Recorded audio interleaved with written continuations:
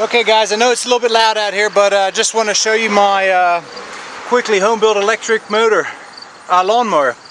It's an old Black & Decker electric lawnmower. I had a battery laying around in a 2000 watt inverter that I hooked up, plugged her in, and uh, did a little mowing already. It seems to work pretty good. Got that uh, 2000 watt Kawasaki inverter there.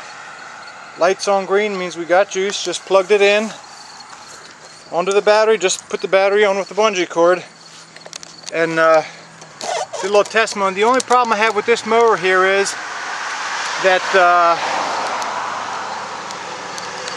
the Black & Decker mower is a little flimsy and uh, the wheels tend to bow out a little bit.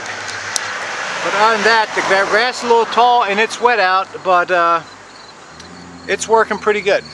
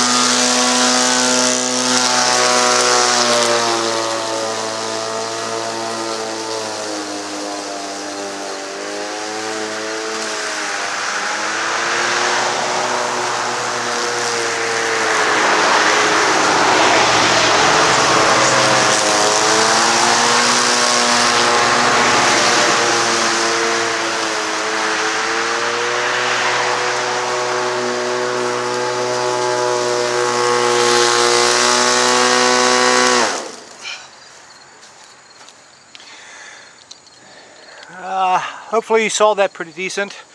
Again, it's just a little Black & Decker lawnmower, electric mower. I got a 12 volt car battery on there. It powers it up good.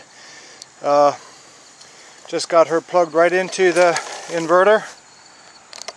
Turn it off. See you later.